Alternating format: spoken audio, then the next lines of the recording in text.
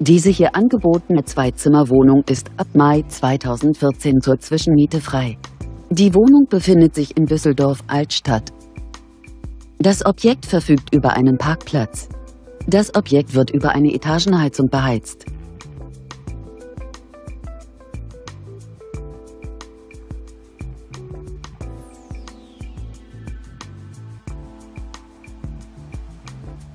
Die möblierte Wohnung umfasst eine Fläche von ca. 73 Quadratmetern. Die Pauschalmiete beläuft sich pro Monat auf 1400 Euro. Kontaktieren Sie uns für weitere Informationen.